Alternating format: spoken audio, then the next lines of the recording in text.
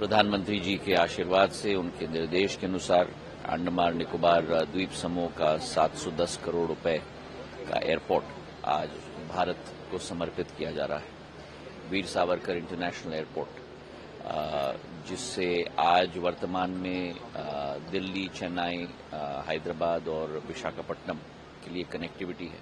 लेकिन आने वाले दिनों में इससे कनेक्टिविटी कई गुना बढ़ेगी। प्रधानमंत्री जी की सोच और विचारधारा है कि भारत के एक एक अंग में यह अधोसंरचना स्थापित हो पाए।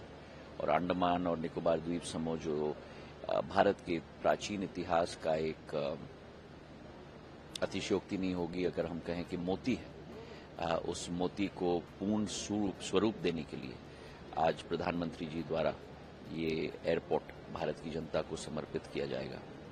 उसी के साथ साथ इस द्वीप समूह में तीन और एयरपोर्ट भारत विमान प्राधिकरण के द्वारा स्थापित किए जा रहे हैं। शिवपुर में कार निकोबार में और एक और एयरपोर्ट स्थापित हो रहा है। और उसी के साथ चार चार वाटर ड्रोम भी हम लोग स्थापित कर रहे हैं।